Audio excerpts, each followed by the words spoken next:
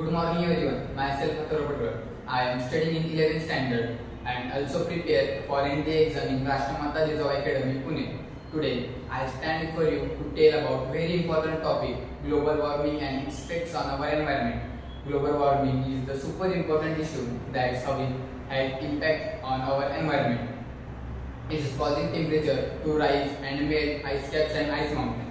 One of the major contributors to global warming is increasing the greenhouse gas, especially carbon dioxide, which is a release from which is a release from fossil fuels like coal, gas, oil, etc.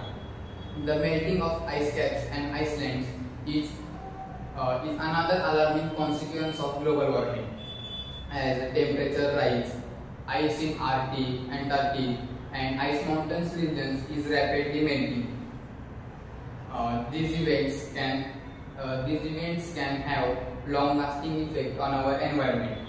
Remember, my all friends, we have only one planet and up to and it's up to us to protect it and create a better future. Thank you. Jai Hind, Jai Bharat.